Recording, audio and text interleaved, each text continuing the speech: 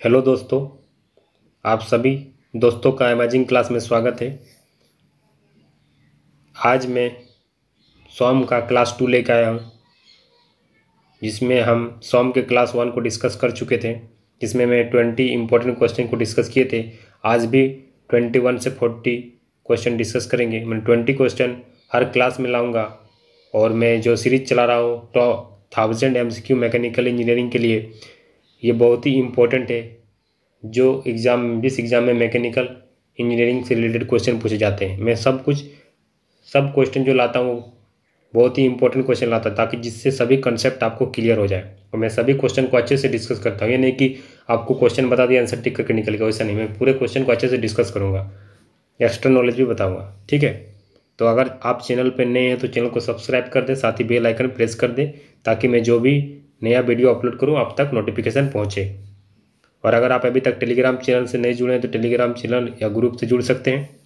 ठीक है, ये बहुत ही इंपॉर्टेंट है सभी एग्ज़ाम के लिए, जिसमें टेक्निकल और अगर आप अभी तक टेलीग्राम चैनल से नहीं जुड़े हैं टेलीग्राम ग्रुप से नहीं जुड़े हैं इंस्टाग्राम में फॉलो नहीं करते होंगे फेसबुक पेज से नहीं जुड़े यूट्यूब को अभी तक आप सब्सक्राइब नहीं किए हैं तो इनका click on image below to join us मैंने इस लिंक पे अगर पीडीएफ आपको मिलेगा डिस्क्रिप्शन बॉक्स में पीडीएफ डाल दूँगा, वहाँ से अगर पीडीएफ आप डाउनलोड करें तो मैं डिस्क्रिप्शन बॉक्स में पीडीएफ का लिंक दे दूँगा, वहाँ से आप पीडीएफ डाउनलोड कर सकते थे क्योंकि बाद में अगर क्वेश्चन को आपको प्रैक्टिस करना होगा, तब आराम से फिर से दोबारा प्रैक्टिस कर सकते हैं। आपको लिखने की ज़रूरत नहीं आप सिर्फ़ पेन कॉपी लेके बैठिए और सॉल्यूशन जो बता रहे हैं, उसको समझिए और उसको सॉल्व कीजिए। फिर क्वेश्चन आपको लिखने का कोई ज़रूरत नहीं मैं क्वेश्चन का लिंक पीडीएफ का लिंक मैं डिस्क्रिप्शन बॉक्स में डाल दूँगा और मैं, और सभी का डिस्क्रिप्शन बॉक्स में टेलीग्राम ग्रुप, चैनल और इंस्टाग्राम, फेसबुक पेज, सभी का लिंक में और सभी का प्लेलिस्ट का लिंक भी मैं डिस्क्रिप्शन बॉक्स में देता हूँ, वहाँ से आप डायरेक्टली ज्वाइन हो सकते हैं। तो चलिए, वीडियो को स्टार्ट करते हैं। देखिए, आज क्वेश्चन नंबर ट्वेंटी वन से फोर्टी तक हम डिस्कस करेंगे। तो strain is defined as the ratio of strain क्या होता है? तो स्ट्रेन आपको पता होना चाहिए स्ट्रेन क्या होता है? स्ट्रेन जो होता है change in length by original length होता है। चेंज इन लेंथ मैंने delta L by original length यानी कि change in length by original length आपका स्ट्रेन होता है, यानी कि ऑप्शन बी जो होगा आपका राइट आंसर होगा। Change in length to the original length option B आपका राइट आंसर हो जाएगा। चलिए question number twenty two what will be the thermal stress develop in a rod having a diameter of four centimetre and length of two metre it experiences heating from temperature fifty degree centigrade to two hundred degree centigrade the coefficient of thermal expansion alpha दिया हुआ Young's model दिया हुआ तो आपको find करना है कि thermal stress क्या होता है। तो थर्मल स्ट्रेस का फॉर्मूला था sigma T equal to alpha T और ई अल्फ़ा क्या है? अल्फ़ा आपका कोफिशियंट ऑफ़ थर्मल एक्सपेंशन है। टी होता है चेंज इन टेम्परेचर टेम्परेचर कितना चेंज हो रहा है? और ई जो होता है यंग्स मॉडलस तो यहाँ पर अल्फ़ा का जो वैल्यू दिया हुआ है अल्फ़ा का वैल्यू सिंपल इसको पुट करना है। Ten into ten to the power minus six temperature difference हो जाएगा। यानी कि two hundred minus temperature difference कितना हो जाएगा? टू हंड्रेड माइनस फिफ्टी और ई जो दिया यंग्स मॉडलस तो E into two two fifty. और गीगा पास्कल में दिया तो इसको मेगा पास्कल में कन्वर्ट कर लेंगे और ten to the power three से मल्टीप्लाई होता है। मैंने एक giga pascal equal to ten to the power three mega pascal ठीक है? तो इसको सॉल्व करेंगे। इसको सॉल्व कीजिएगा तो देखिए, इसको सॉल्व जैसे करेंगे तो पूरा को आप सॉल्व कर लीजिएगा। तो सॉल्व करने के बाद आपका थ्री सेवेंटी फाइव आएगा, three seventy five mega pascal तो ऑप्शन डी होगा आपका राइट आंसर। इसी तरह आपको सॉल्व करना है। चलिए, next question. Question number twenty three. Rod with a length of hundred centimetre and diameter of four centimetre undergoes an axial pull of fifty kilo newton what is the stress in the newton per M M square तो मान लीजिए कोई rod है, ठीक है? कोई rod है, ठीक है? और जिसका लेंथ और इसका डायमीटर दिया हुआ है फोर सेंटीमीटर ठीक है? तो हम एक्जियल पुल लगा रहे हैं। एक्जियल पुल मतलब क्या? देखिए एक्जियल पुल मतलब क्या होता है? क्या एक्जियल पुल मतलब क्या? इसमें एक्जियल पुल लगा रहे हैं। पुल एक पुश होता है पुल होना, ठीक है? तो पुल लगा रहे हैं मैंने खींच रहे हैं उसको। तो खींच रहे हैं तो क्या हो रहा है? जब इस किसी चीज़ को खींच रहे हैं, अब मान लो कोई लोड पी लगा रहे हैं तो इसको हम खींच रहे हैं तो खींच रहे हैं तो क्या हुआ? जब इसको हम खींचेंगे तो एरिया क्रॉस सेक्शनल एरिया इस एरिया पे स्ट्रेस डेवलप हो इस एरिया पे। ये नहीं total surface area cross sectional area लेना है। तो क्रॉस सेक्शन लेता है। तो स्ट्रेस क्या होता है? Stress equal to load upon cross sectional area cross sectional area लेना पड़ता है, ठीक है? तो लोड क्या है आपका? लेड फिफ्टी किलो न्यूटन है। यानी कि fifty into ten to the power three divided by cross sectional area तो क्रॉस सेक्शनल एरिया क्या है? इसका डायमीटर दिया है। यानी कि pi by four D square और डी क्या है? डी यहाँ पर क्या है? डी डायमीटर दिया आपका फोर सेंटीमीटर तो फोर का स्क्वायर ठीक है? अगर इसको सॉल्व कीजिएगा, इसको सॉल्व करने के बाद जो स्ट्रेस आएगा स्ट्रेस का वैल्यू थर्टी नाइन पॉइंट कुछ आएगा। तो थर्टी नाइन पॉइंट समथिंग आएगा। तो thirty nine point seven eight nine आएगा। इसको हम अगर अप्रोक्सीमेटली फोर्टी मान लेते हैं, यानी कि ऑप्शन डी आपका राइट आंसर हो जाएगा। चलिए next question question number twenty four choose the incorrect condition for thermal stress in a body तो थर्मल स्ट्रेस में कौन कौन सा कंडीशन सेटिस्फाई करता है? तो आपको पता होना चाहिए कि थर्मल स्ट्रेस जो होता है, अल्फ़ा, टी और ई e रिलेशन होता है। इसको बोलते हैं कोफिशियंट ऑफ़ थर्मल इसको बोलते हैं कोफिशियंट ऑफ़ थर्मल एक्सपेंशन इसको टेम्परेचर राइज और इसको बोलते हैं यंग्स मॉडलस तो देखिए it is a function of coefficient of thermal expansion ये तो सही है। ठीक है? It is a function of temperature coefficient temperature ठीक है? और function of rise of temperature ये भी इस पर डिपेंड करता है। और मॉडलस ऑफ़ इलास्टिसिटी डिपेंड करता है तो किस पे डिपेंड नहीं करता है? रिजिडिटी पे डिपेंड नहीं करता यानी कि पूछा है इनकरेक्ट यानी कि ऑप्शन डी आपका राइट आंसर हो जाएगा। तो इस तरह क्वेश्चन जब पूछेगा तो आपको ध्यान देना है कि इनकरेक्ट पूछा कि करेक्ट पूछा है। अगर मान लीजिए इनकरेक्ट दिया और करेक्ट पढ़ लिए पहले ऑप्शन दे के टिक करके निकल गई। बाद में जब एग्ज़ाम दे आ रहे हैं तो पता चल रहा है कि रॉन्ग हो गया। इसीलिए आपको क्वेश्चन को सही से पढ़ना है। इनकरेक्ट करेक्ट ये सब बहुत अच्छे से देखना है। नॉट और नॉट नहीं दिया उसको आपको ध्यान से देखना है। ठीक है ऑब्जेक्टिव में। A steel bar of dimension 10 mm, 1 mm and 1 mm is free to expand, is heated from 15 degree centigrade to 25 degree centigrade. What is the stress shall be developed? तो आपको देखिए, इसमें आपको वैल्यू से जो भी वैल्यू दिया है न्यूमेरिकल वैल्यू दिया उससे कोई लेना देना नहीं है। देखिए स्ट्रेस तभी डेवलप होता है जब कोई बॉडी रजिस्ट करेगा। जैसे मान लीजिए रॉड है। अब इस रॉड को अगर इस तरह रखेंगे, तभी तो स्ट्रेस डेवलप होगा इस पर अब इसको कोई रजिस्ट ही नहीं करेगा तो स्ट्रेस कहाँ से प्रोड्यूस होगा? तो जब तक रजिस्टिंग कोई कोई उसको रोकेगा नहीं, तब तक स्ट्रेस उस पर डेवलप नहीं होगा। अगर मान लीजिए कोई फ्रीली रॉड को छोड़ दी इस पर स्ट्रेस डेवलप होगा ये तो एक्सपेंड होते जाएगा, इसको कोई रोकेगा नहीं तो स्ट्रेस कहाँ से पैदा होगा? ठीक है? आप किसी चीज़ को मार रहे हैं, अगर किसी चीज़ को मारेंगे, हम उसको अगर मारेंगे, जैसे मान लें ऐसे खाली जगह मार रहे हैं तो उसको कोई फोर्स लगेगा दीवार को मारेंगे तो दीवार हमको लगाएगा स्ट्रेस तो हम दीवार को मारेंगे तो दीवार हमको स्ट्रेस लगाएगा। तो उसी हिसाब से जब तक कोई रोकने वाला चीज़ नहीं रहेगा, जब तक कोई रजिस्टिंग बॉडी नहीं होगा, तब तक उस पर कोई स्ट्रेस डेवलप नहीं होगा। यानी कि ऑप्शन बी आपका राइट आंसर हो जाएगा। नो स्ट्रेस आपका राइट आंसर हो जाएगा।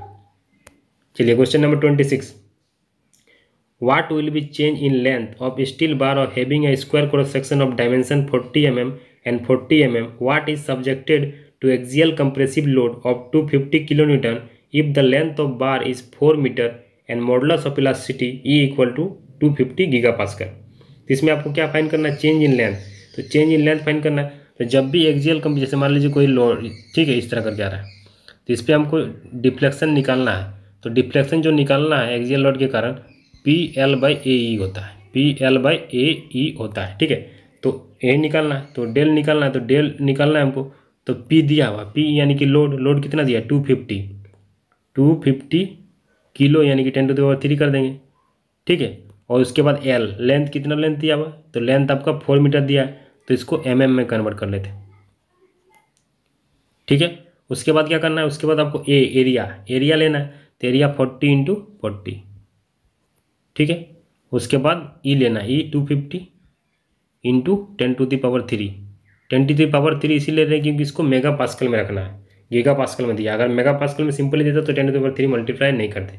अब इसको सॉल्व करेंगे तो क्योंकि इधर भी एम mm था एम mm था तो दोनों एम mm कट जाता, इसीलिए हमको एम एम में लिए ठीक है? तो यहाँ से क्लियरली हो गया। तो इससे किस किसमें आएगा? किस यूनिट में आएगा आपका? डिफ्लेक्शन जो आएगा आपका एम mm में आएगा। तो इसको सॉल्व करेंगे पूरा तो आपका टू पॉइंट फाइव आएगा। Two point five two point five M में आएगा। यानी कि ऑप्शन ए आपका राइट आंसर हो जाएगा। चलिए next question what is the normal stress on bar of square section cross section with side B on which load P is applied at an angle of thirty degree ठीक है। तो जैसे मान लीजिए कोई स्क्वायर सेक्शन है, square section है, अब स्क्वायर सेक्शन होगा तो ये भी तो स्क्वायर होगा ना पूरा? पूरा स्क्वायर सेक्शन होगा। उसका जो साइड है वो बी है, ठीक है? सब तरफ़ बी है। अब इस पर अगर मान लीजिए इसको थ्री डायमेंशन इसको देखते हैं, ठीक है? तो लोड लग रहा है। तो ये जो पी लग रहा है, ठीक है? पी जो लग रहा है वो थर्टी डिग्री पे लग रहा है ओरिजेंटल के साथ। तो यानी पी कॉस थर्टी हो गया। तो हमको इसी लोड को चाहिए ना। हमको यही लोड से मतलब है जब हमको स्ट्रेस नॉर्मल स्ट्रेस निकालना है तो एक्जियल लोड जो लग रहा है उसी के कारण हो जाएगा। तो नॉर्मल स्ट्रेस जो होगा स्ट्रेस जो होगा नॉर्मल स्ट्रेस क्या हो जाएगा? नॉर्मल स्ट्रेस जो होगा load upon applied load applied load upon area cross section area हो जाएगा। तो अप्लाइड लोड कितना हो गया? P cos sixty sorry P cos thirty और क्रॉस सेक्शन एरिया इसका एरिया हो जाएगा, ये वाला एरिया यानी कि बी स्क्वायर ठीक है? तो कॉस थर्टी का कितना होता है? कॉस थर्टी का वैल्यू होता है रूट थ्री बाई टू तो पी इधर से था और इधर बी स्क्वायर था, इधर रूट थ्री बाई टू लिख देंगे। तो यहाँ से क्या आ जाएगा? Root three P by two B square यानी कि ऑप्शन ट्वेंटी सेवन का ऑप्शन सी आपका राइट आंसर हो जाएगा ऑप्शन सी चलिए next question the value of principal stress at a point in a plane stress element is sigma X equal to sigma equal to five hundred mega pascal calculate the value of normal stress acting at an angle of forty five degree at X axis तो forty five degree पे angle लग रहा है। Forty five पे यानी question number twenty eight देखना। ठीक है? तो इसमें क्या करना है? जब भी नॉर्मल स्ट्रेस की बात करें तो normal stress at forty five degree will भी क्या होता है? देखिए तो on a plane of maximum shear stress the normal stress is equal to average of normal stress होता है, ठीक है? या तो हम इसको बोल सकते हैं कि जो normal stress forty five degree मिलेगा normal stress forty five degree will be the average of principal stress मतलब दोनों का एवरेज निकालना पड़ेगा। जो नॉर्मल स्ट्रेस निकालना है तो नॉर्मल स्ट्रेस अगर निकालना है तो क्या होता है? दोनों का एवरेज हो जाता है। किस पॉइंट पे? जब principal stress at forty five degree जब फोर्टी फाइव दिया रहेगा तो नॉर्मल स्ट्रेस जो होगा, वो दोनों का एवरेज हो जाता है। मैंने sigma X plus sigma Y by two हो जाएगा। यानी कि five hundred plus five hundred divide by two यानी कि फाइव हंड्रेड आपका राइट आंसर हो जाएगा। ऑप्शन बी आपका राइट आंसर हो जाएगा। और एक चीज़ आपको याद रखना है कि जब भी हो on the plane of maximum shear stress जब भी मैक्सिमम शेयर स्ट्रेस हो तो normal stress is equal to average normal stress हो जाता है। ठीक है? मैक्सिमम शेयर स्ट्रेस प्लेन मतलब मैक्सिमम शेयर स्ट्रेस प्लेन में क्या होता है? नॉर्मल स्ट्रेस जो होता है वो एवरेज हो जाता है। ठीक है? Question number twenty nine steel rod length twenty two hundred M M and final length of two hundred point two M M after application of axial tensile load of twenty kilometre what will be the strain develop in the rod तो strain करना तो strain का जो formula होता है, आपको पता होना चाहिए स्ट्रेन जो होता है, क्या होता है? स्ट्रेन होता है change in length by original length होता है। तो स्ट्रेन क्या होता है? Final final length minus original length original length by final original length. यही आपका फॉर्मूला होता है, ओरिजिनल ओरिजिनल लेंथ, ठीक है? तो फाइनल लेंथ कितना है? टू हंड्रेड पॉइंट टू और ओरिजिनल कितना है? Two hundred divided by two hundred, यानी कि point two by two hundred तो पॉइंट कटा ज़ीरो, यानी एक बटा एक हज़ार, यानी कि ऑप्शन सी आपका राइट आंसर हो जाएगा, ऑप्शन सी आपका राइट आंसर हो जाएगा। चलिए next question value of normal stress is dash in the plane of maximum shear stress तो जब भी मैक्सिमम शेयर स्ट्रेस होता है तो उसमें क्या होता है? मैक्सिमम शेयर स्ट्रेस में क्या होता है कि आपको इससे पहले बताया कि normal stress on the plane of maximum shear stress क्या होता है? एवरेज नॉर्मल स्ट्रेस के बराबर हो जाता है। तो वही कंडीशन इसने पूछा है कि इसका मतलब ये नहीं कि नॉर्मल स्ट्रेस होगा नीड नॉट बी ज़ीरो कोई ज़रूरी नहीं है कि need not be zero need not be zero. हम नहीं बोल सकते कि ज़ीरो होगा, लेकिन ये बोल सकते हैं कि अगर मैक्सिमम शेयर स्ट्रेस प्लेन में है तो नॉर्मल स्ट्रेस जो होगा एवरेज ऑफ़ शेयर स्ट्रेस होगा। ठीक है? या मैक्सिमम होगा मिनिमम होगा, ज़ीरो होगा, इसके बारे में हम नहीं बता सकते ठीक है? तो ऑप्शन डी आपका राइट आंसर हो जाएगा। Determine an axial strain in the cylindrical wall at the mean depth when Young's, Young's modulus and Poisson's ratio of container is 200 gigapascal and 0.6 respectively. The axial and circumferential stress are equal and its value is 20 megapascal. तो जब भी आपको निकालना पड़ेगा axial strain तो strain का formula होता है टू डायमेंशनल में ठीक है sigma by E one minus mu mu क्या है पॉइजन्स रेशियो तो इसमें सिंपली वैल्यू पुट कर देना है क्या दिया है ट्वेंटी मेगा पास्कल और इधर ई का value two hundred two hundred giga pascal दिया, यानी two hundred into ten to the power three और वन माइनस म्यू म्यू का वैल्यू पॉइंट सिक्स अगर इसको सॉल्व कीजिएगा पूरा, एक ज़ीरो से एक ज़ीरो कैंसिल टेन ठीक है? तो इसको सॉल्व कीजिएगा तो कितना आएगा? पॉइंट फोर यानी कि four into ten to the power minus five आएगा। यानी कि ऑप्शन डी आपका राइट आंसर हो जाएगा। ऑप्शन डी आपका राइट हो जाएगा। Question number thirty two the magnitude of normal stresses in X Y direction is hundred mega pascal and twenty mega pascal respectively both the stresses यहाँ are होगा ठीक है are are tensile in nature determine the radius of Mohr circle तो radius of Mohr circle निकालना होगा तो इसका formula ही होता है। रेडियस ऑफ़ मोर सर्किल होता है under root sigma X minus sigma Y by two का whole square plus tau X Y का होल स्क्वायर ठीक है, यही फॉर्मूला होता है, लेकिन इसमें तो सीयर स्ट्रेस दिया ही नहीं है तो इसका कोई काम नहीं है। नॉर्मल स्ट्रेस लेना है तो नॉर्मल स्ट्रेस लेंगे तो दोनों कितना हंड्रेड तो hundred minus twenty by two का होल स्क्वायर यानी कि एट्टी एट्टी बाई टू यानी कि फोर्टी फोर्टी का स्क्वायर अंडर रूट करेंगे तो यहाँ से फोर्टी आपका मेगा पास आ जाएगा, यानी कि ऑप्शन बी आपका राइट आंसर हो जाएगा। Next question dimension twenty twenty M M is carrying axial and tensile load of ten kilo newton if the modulus of elasticity is two fifty mega pascal then strain induce due to load would be तो strain क्या होगा? तो आपको पता है axial load के कारण बताया तो स्ट्रेन जो होता है P L by A E होता है। ठीक है? तो निकालना ई ई डिफ्लेक्शन होता है डेल सॉरी डिफ्लेक्शन होता है। तो स्ट्रेन क्या होता है? Change in length by original length तो यहाँ से change in P by A ही लिख सकते हैं।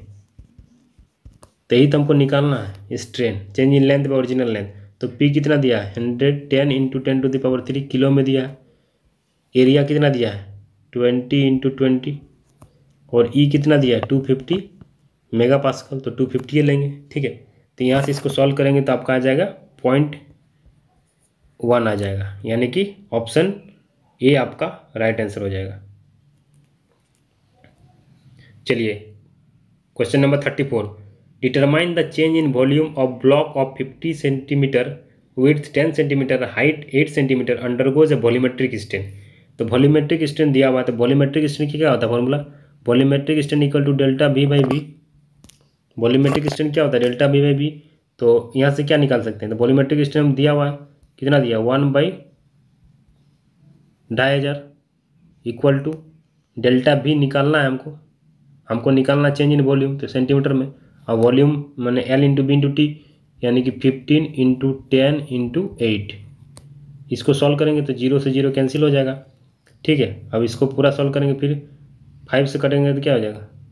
फाइव थ्री और फाइव फिफ्टी यानी कि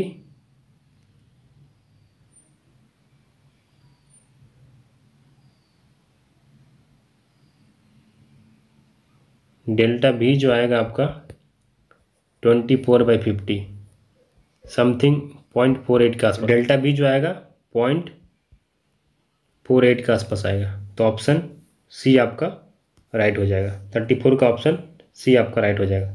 चलिए next question. The state the state when tensile और compressive stress is equal in all direction with in और external to a body is known as तो देखिए, जब आप पढ़ेंगे इसमें सर स्ट्रेस डायग्राम में, देखिए तो ये कंप्रेसिव इन नेचर लग रहा है। अगर सब इक्वली स्ट्रेस लग रहा है, चाहे कंप्रेसिव हो या टेंसाइल इन नेचर हो तो इसी को बोलते हैं हाइड्रोस्टेटिक स्ट्रेस मतलब सेम स्ट्रेस लग रहा है चारों तरफ़ से। तो उसको बोलेंगे hydrostatic force stress option B आपका राइट आंसर हो जाएगा। It is use to describe state of tensile और कंप्रेसिव ठीक है टेंसाइल और कंप्रेसिव नेचर को डिस्क्राइब करता है, जो इक्वल होता है इन ऑल डायरेक्शन में। Equal in all direction with in और एक्सटर्नल टू द बॉडी या तो विद इन अ बॉडी होगा या तो एक्सटर्नल टू द बॉडी होगा। दो में होगा इक्वली होगा इक्वल होगा। जो भी स्ट्रेस डेवलप होगा, वो इक्वल स्ट्रेस टेंसाइल हो, चाहे कंप्रेसिव वो हमेशा स्ट्रेस जो होगा इक्वली इक्वल होगा।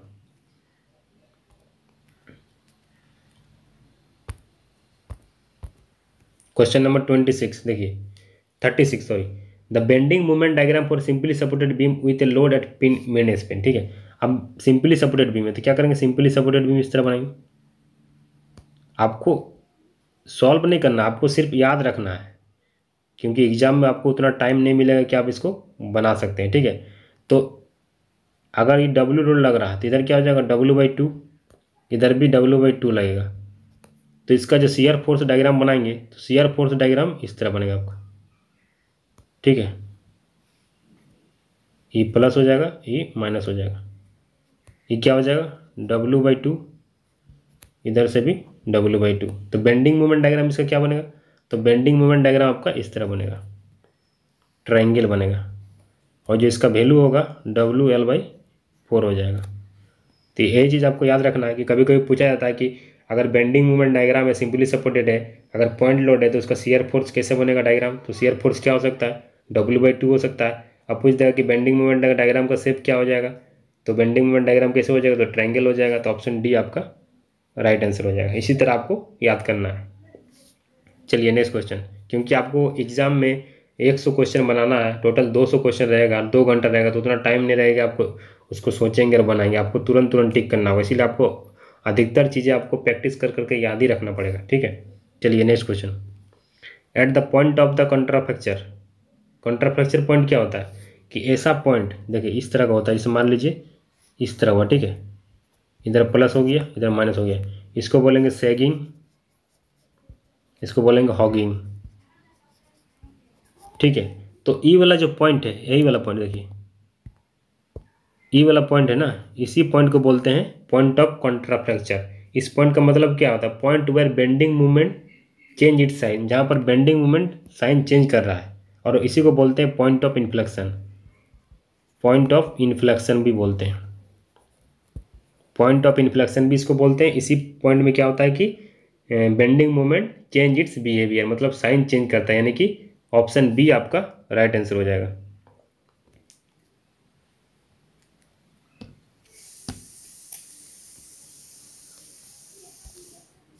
For a simply supported beam having a load at the centre the bending moment will be अब देखिए, इससे पहले भी देखे थे कि बेंडिंग मोमेंट डायग्राम जब बनाए थे हम तो ठीक है, यही बेंडिंग मोमेंट डायग्राम था। इससे पहले भी बनाए थे। तो बेंडिंग में सिंपली सपोर्टेड बीम था पॉइंट लोड पे था। तो पूछा है कि सेंटर पे bending moment the moment will be तो मोमेंट विल भी क्या होगा? मिनिमम कहाँ है? Minimum at support minimum at support हो रहा। है यानी कि ऑप्शन ए आपका राइट हो जाएगा। क्योंकि ऑप्शन बी जो दिया मिनिमम एट सेंटर सेंटर में तो मैक्सिमम है। मैक्सिमम एट सपोर्ट ये भी गलत है। यानी कि ऑप्शन ए आपका राइट आंसर हो जाएगा। चलिए, ठीक है, देखिए। Thirty nine a simply supported beam carries a uniformly distributed load W per unit length over a whole span the shear force at the centre तो आपको सीयर फोर्स निकालना है। तो सीयर फोर्स आप कैसे सॉल्व करेंगे? इस तरह करके रहता है यूनिफॉर्मली डिस्ट्रीब्यूटेड है, ठीक है? यूनिफॉर्मली डिस्ट्रीब्यूटेड होगा। तो क्या होगा? डब्ल्यू हो रहा है। इसका मतलब क्या? सीयर फोर्स डायग्राम जो होगा आपका, इस तरह करके होगा, ठीक है? इस तरह यहाँ पर लग रहा है क्या? डब्ल्यू डब्ल्यू लग रहा है लोड लग रहा है। तो सीयर फोर्स डायग्राम आपका इस तरह होगा। ये पॉइंट से मिड पॉइंट से पास करेगा, ठीक है? तो सीयर फोर्स डायग्राम आपका इस तरह बनेगा। और सीयर फोर्स क्या हो जाएगा यहाँ पर? डब्ल्यू एल बाई टू हो जाएगा और इधर भी लोड जो होगा डब्ल्यू एल बाई टू हो जाएगा। आप इसको सॉल्व कर सकते हैं, लेकिन सॉल्व करने का कोई मतलब नहीं बनता। आप सॉल्व कर लेंगे। आप इसको रिएक्शन मान लेंगे, इसको भी रिएक्शन मान लेंगे और उसके बाद रिएक्शन को बैलेंस कर देंगे। R A R A plus R B equal to W L और उसके बाद उसके किसी भी पॉइंट के बाद मोमेंट ले लेंगे। और उसके बाद इस पॉइंट का मोमेंट लेंगे तो मोमेंट ज़ीरो हो जाएगा, उससे relation A reaction at A reaction at B निकल जाएगा, उसके बाद इसका आप इसको बना सकते हैं, फिर शेयर फोर्स बेंडिंग मोमेंट भी निकाल सकते हैं। तो शेयर फोर्स डायग्राम आपका हो गया, पूछा क्या है? The shear force at the centre तो सेंटर पर शेयर फोर्स क्या हो रहा है? यहाँ पर ज़ीरो होगा, यानी कि ऑप्शन सी आपका राइट आंसर हो जाएगा। ऑप्शन सी आपका करेक्ट हो जाएगा, ठीक है?